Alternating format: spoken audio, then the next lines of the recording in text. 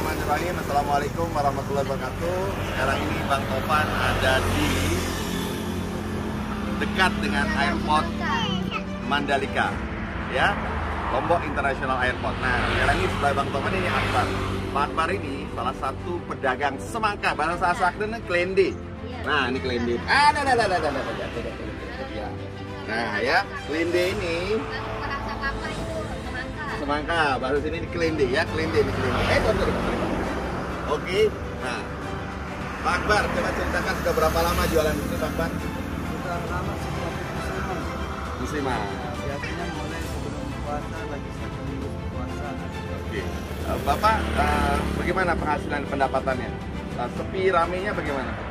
Ya kalau dari pengalaman dari sekian lama kita jualan, kalau bulan puasa itu rame dia. oke Tapi setelah selesainya bulan puasa itu agak sepi lah. Bahkan bisa dikatakan sepi. sekarang sekarang ini gimana sekarang situasinya gimana setelah lebaran Nah, mungkin kan sekarang masih bau hawa lebaran ini kan, jadi masih agak rame. Nah, setelah selesai lebaran cepat sepi dia. Kadang 300 itu paling banyak. dapat berapa sehari jualan Kelende ini Kadang ini 300 paling banyak. paling banyak ya sehari ya berarti berarti sebulan bisa dapat duit berapa Kalau rame itu dapat satu juta. Kalau Nah, sehari ya oh masya Allah Kebetulan kita kan kita hutang ya sama bos ya. Oke, apa harapannya Pak Akbar sama pemerintah juta ini?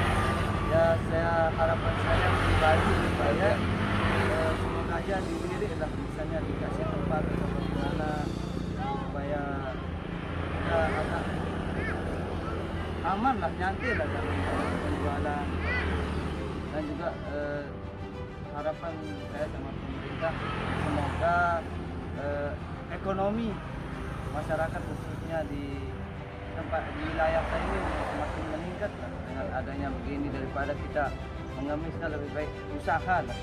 Buka usaha seperti ini. Baik, sahabat-sahabat sekalian, Bang Akbar tadi mengatakan lebih baik saya bekerja daripada saya. Ya, kita sama-sama yakin, kita sama-sama berdoa bahwa di dalam setiap usaha pasti akan diberikan kemudahan oleh Allah Subhanahu taala.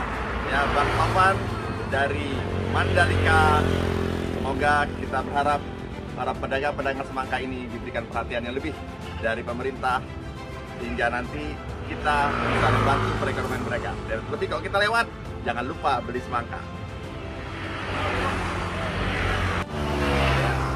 Guys, kita beli ya, kita beli, kita beli, kita beli. Jangan cuma lewat aja ya, beli, beli, beli. Oke Pak, salaman dulu Pak. Mudah-mudahan ya Pak ya. Eh, manis.